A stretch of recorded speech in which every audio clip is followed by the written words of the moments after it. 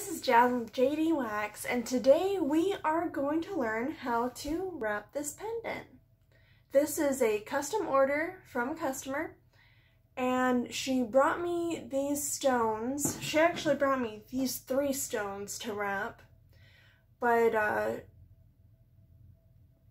I only wrapped the two because that's what we decided on. And um, it looks like it's a sodalite, and I'm not sure what this other rock is. It looks like just a polished brown stone, uh, but it's wrapped in 24 gauge uh, sterling silver wire and 20 gauge sterling silver wire. So, uh, let's get started. Okay.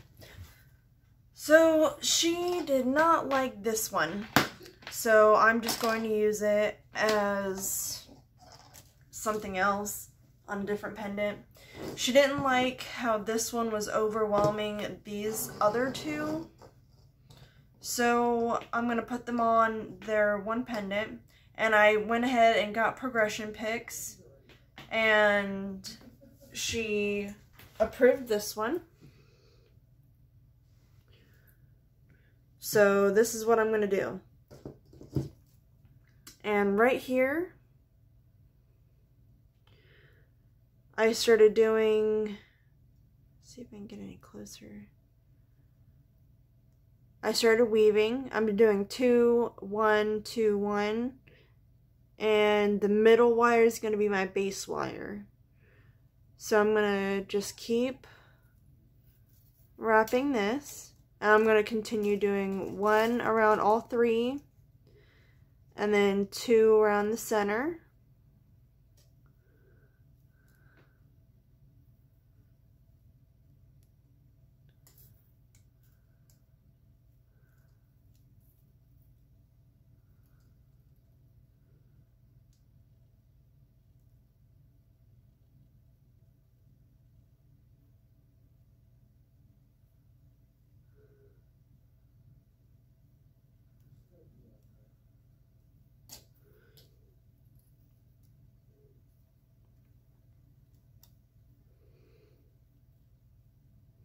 I'm just going to continue with that until I have a good solid piece on that.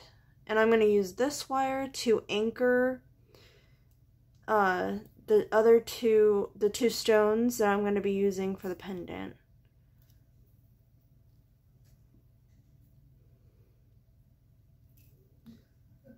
So I'm just going to continue doing that until I get like a good at least couple of inches. Alright? And then I'll see you back here shortly. Okay. So, back to this pendant.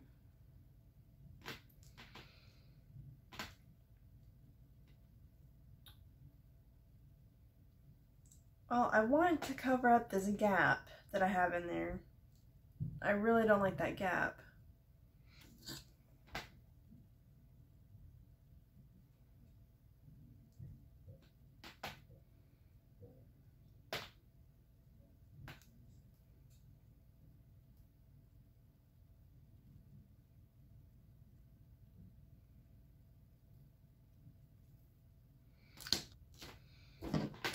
So I'm going to attach this like this on the back. So I'm going to go in through the top hole on the back. You know what? This keeps falling out. I'm just going to leave it out for now until I can get this secured in there.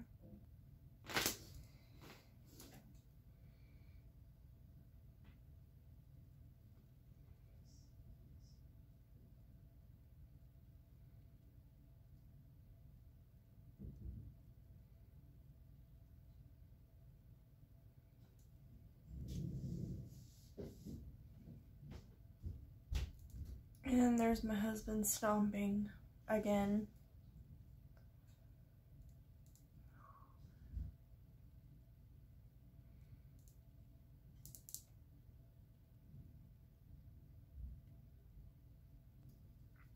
All right. So there is that. It is now attached on here. And then I can twist this however I need to in order to make it stick. I'm just trying to make this wire lay down because that is one of the last things you want is like a pokey piece in your jewelry. Hmm.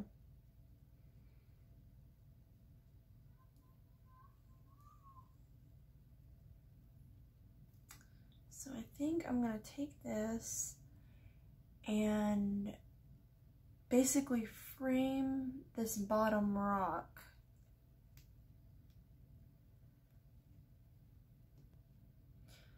Hmm, baby, baby.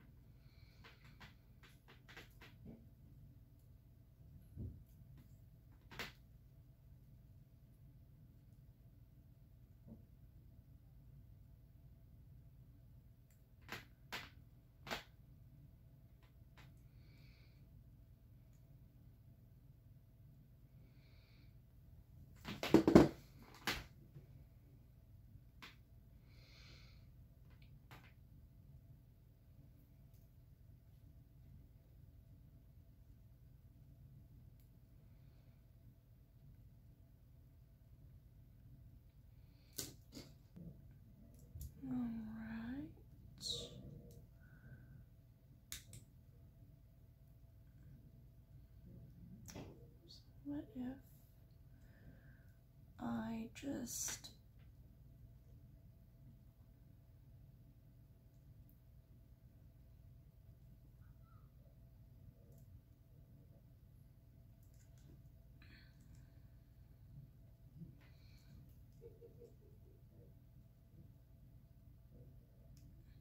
Hmm.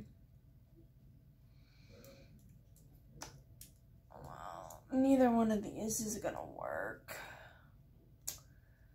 My goodness. Maybe if I make this loop bigger. Well, that doesn't work either. My goodness. What if I take them...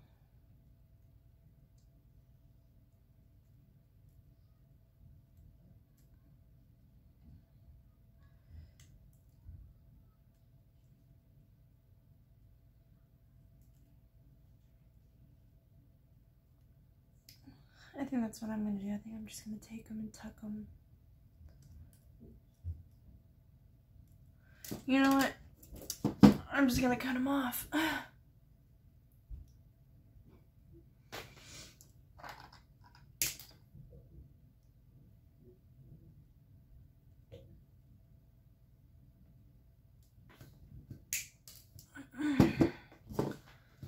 I'm going to cut them off and I am just going to roll them. All right. So let's see if we can get a close up of what I just did. Here we go. See, I I attached it in the back. There we go. I attached it in the back up here. And then I took it into the front, around down, came back through the back and back up. I made this little, this little swirl right here.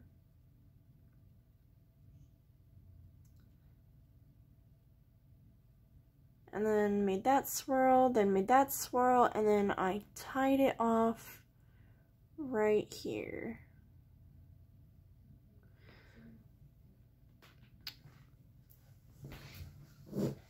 So now this brown rock is more secure.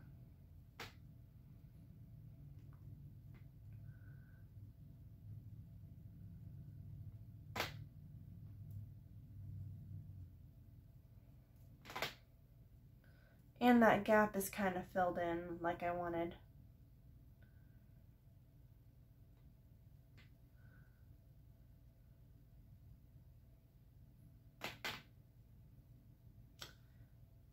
Feel like I need something down here in the bottom though, in the very bottom to secure it.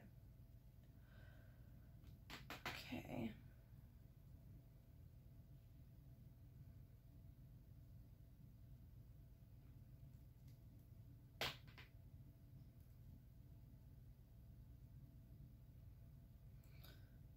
So I'm just gonna do a little like twisty style again.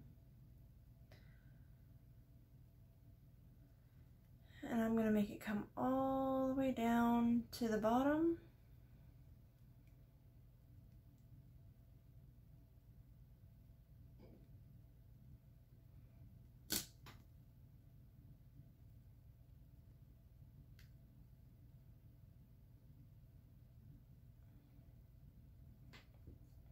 do one more little twisty.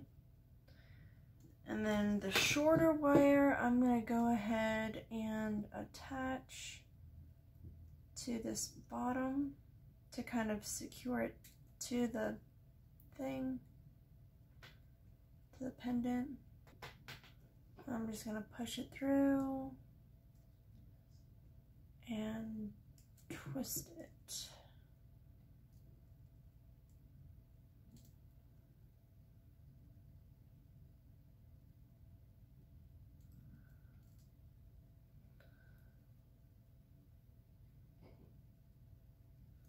So with this second one,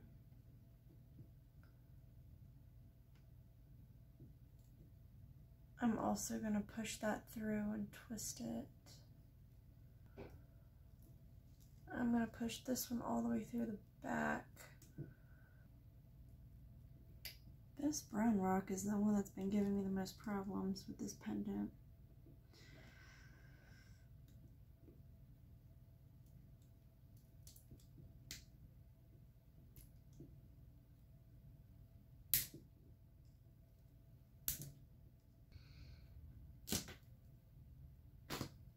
I'm taking these two.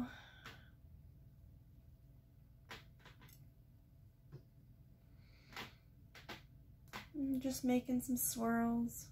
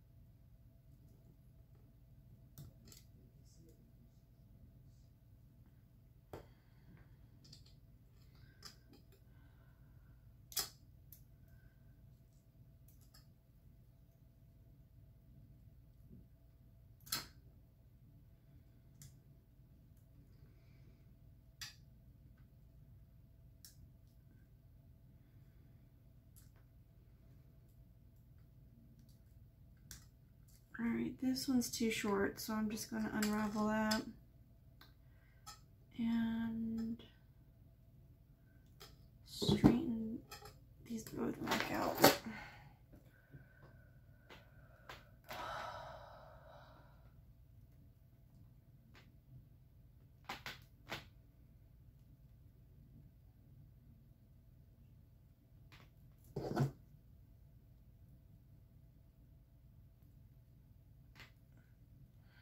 Okay. I'm just going to tie this. Crimp it down. There we go.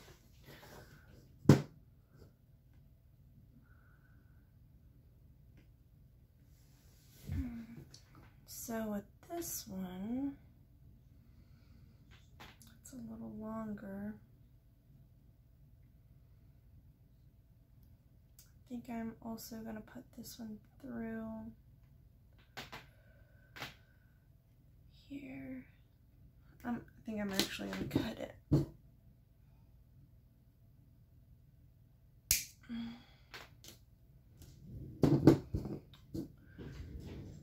And then I'm going to put it through the same hole.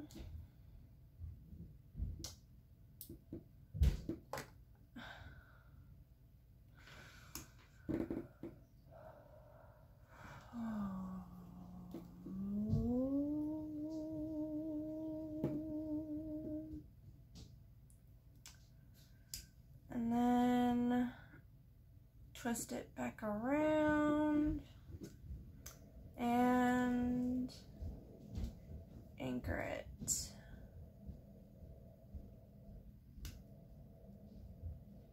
There we go. So then I'm going to take this piece, this piece that's sticking out, I'm going to try and line it up as best as I can. One piece looks a little flatter than the other. And I'm just going to try and turn it so that it'll lay flat against the wire that I wove.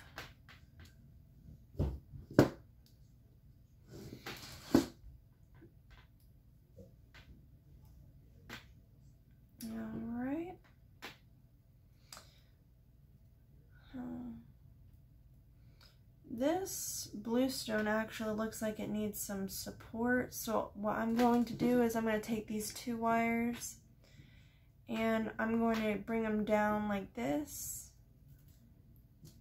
And I'm going to put them through here. Right above where I ended the, where I started putting the, um, the second weave on.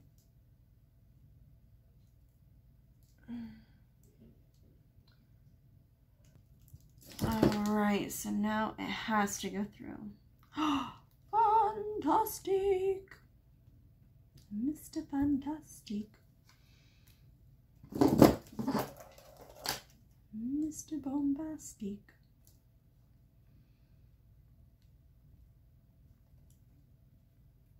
And I'm going to take this wire and I'm gonna actually tuck it behind that wire. Fantastic. Alright. This one has to go above it.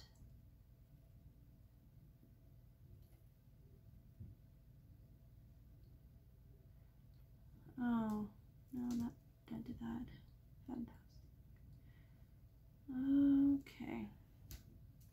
Pull that one through.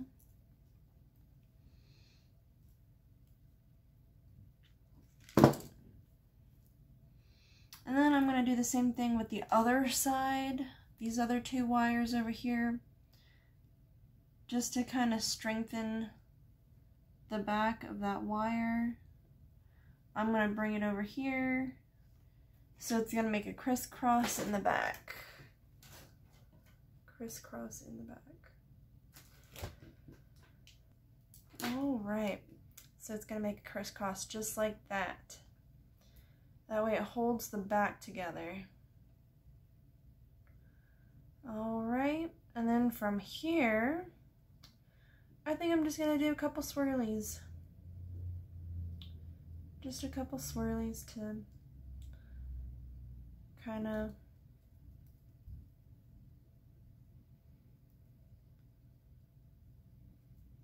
use up the wire. All right, so there we are for that.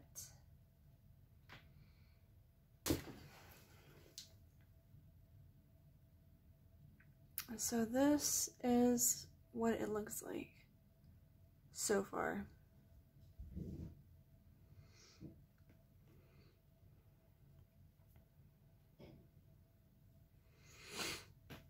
I think it's coming out pretty good.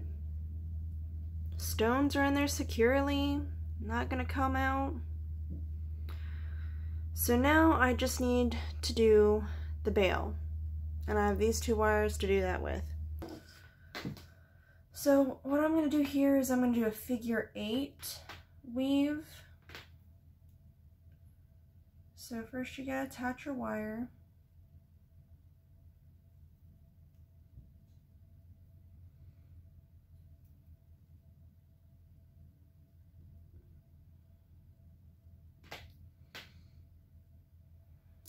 Alright. And make sure that all the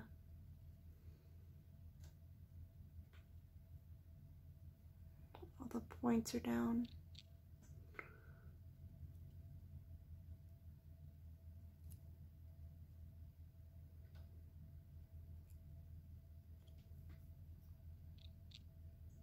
Just like that.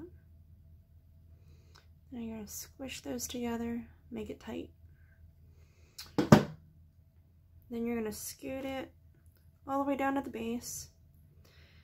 And you're going to start wrapping. So then you're going to come around here, wrap it around once, and then you're going to make a figure eight, come around once, and then there we go. Now that we got that, I'm going to start crisscrossing these so that I can make it go back down the way I need it to. And you always got to keep a hold of your sides now because what was holding them back to begin with was your wires were completely like bent outwards. So it kind of held everything together. Well, now that they're bent inwards, it's not going to hold anything. And see, if you don't keep it pushed down, it starts to unravel.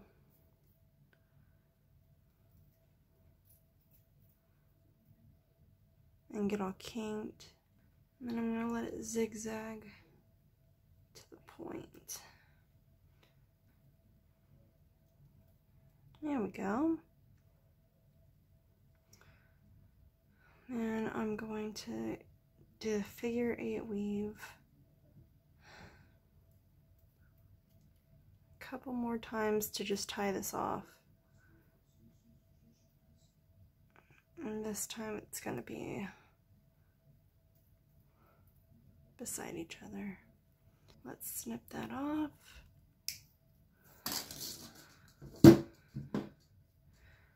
Round out that shirt bit.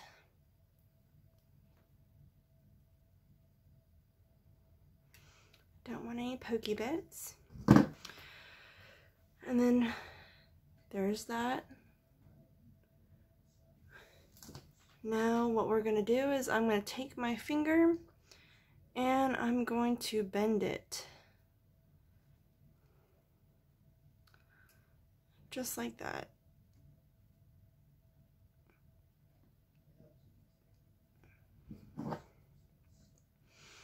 I'm going to take these two wires and I'm going to push it through the front.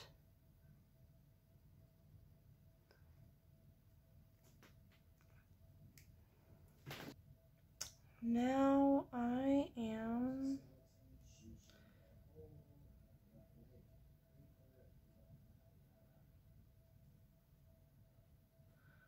I'm just going to bring it around to the back and just tie it off.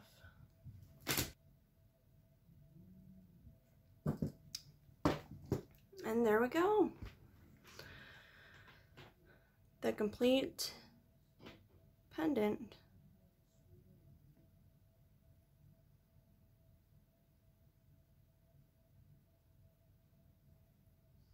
Awesome. I really like how this turned out. So I'm going to go ahead and take a progression pic, send it to her, see what she says about it, and hopefully she likes it. And then I'm also going to see if she wants me to wrap that as well. So I will talk to you here soon. Alright, so she did say that she absolutely adored this pendant. But because of the cost, she doesn't want me to wrap this other one, so that's fine with me. Um, so I guess I'm going to go and take it to her, and that'll be it. This has been Jasmine with JDWAKS, and I hope I see you soon. Have a fantastic day, y'all.